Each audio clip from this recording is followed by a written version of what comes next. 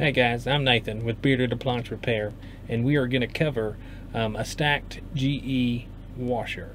Uh, we're not going to cover the dryer in this. This video is only going to cover the washer, and if you need help with diagnosing it, y'all just stay tuned.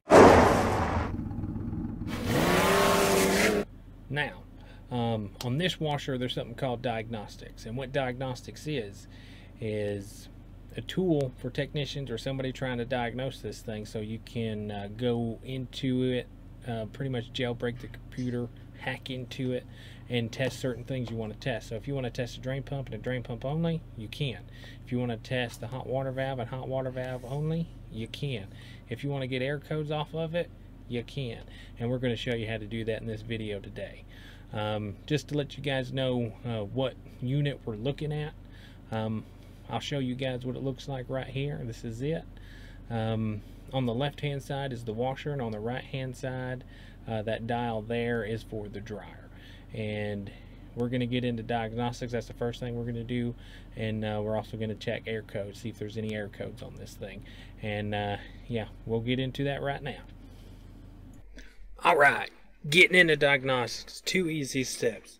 Hold the start and the fabric softener button right next to it um, while you're doing that, turn the knob down to the 6 o'clock position and wait a few seconds and let go. Once you see all the lights blinking like that, you know you have made it into diagnostics. And from here, each direction that you put that knob in is a different test. Whether it's the hot valve, cold valve, diagnostics, drain pump, etc., uh, etc. Et so this first one here, this one is not being used for anything. So do not worry about that one. This one here says fabric softener button. Don't really know what that means to be honest with you. So don't worry about that one either. This next one is error codes and that on light illuminated, that means there is no codes. If there was a code, it would have like wash and rinse and lid lock or something like that. Um, number four, this is clear in your codes. You'd hit the start button and you'll see that and that will clear codes if you have fixed the issue where that error code come up on. Um, number five, this is a model code. Um, don't really need to know this, but uh, that's all it is, is a model code, so don't worry about it. Number six, this is where you enter or exit diagnostics. So you know how we held the buttons, went down to six, let go, you do the same thing to get out.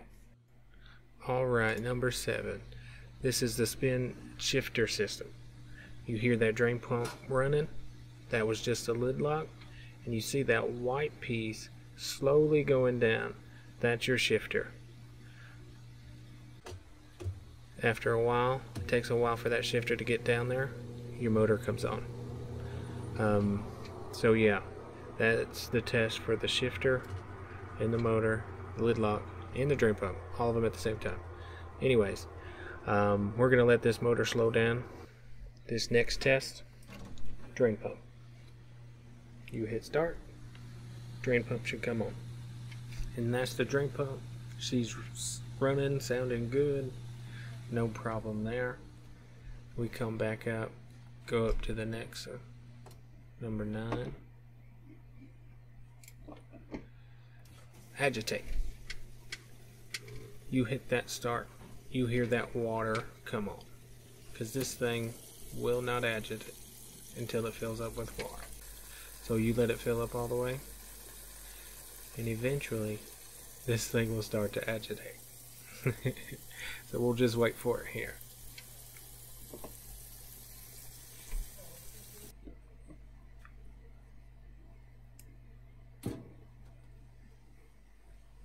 Give it a little bit.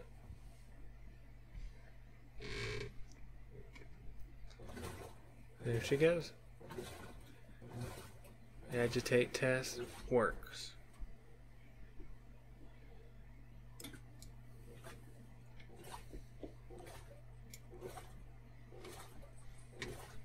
Next test.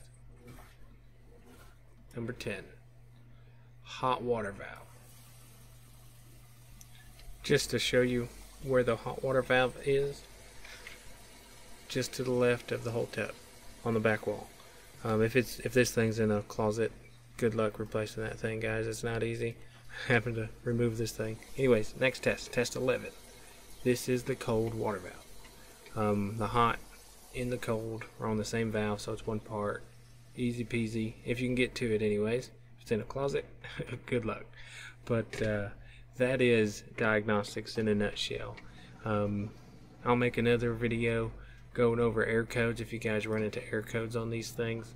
Um, but hopefully this helps you guys out a little bit. Um, maybe figuring this thing out a little bit easy for you. But uh, I do appreciate you guys watching these things that I make here for you. And uh, if you need any help, uh, comment or anything like that below. Um, I do my best to help everybody, so if I don't get to you, I apologize, but I do get quite a few comments. Um, but anyways, appreciate y'all watching. Y'all take care. Have a good one.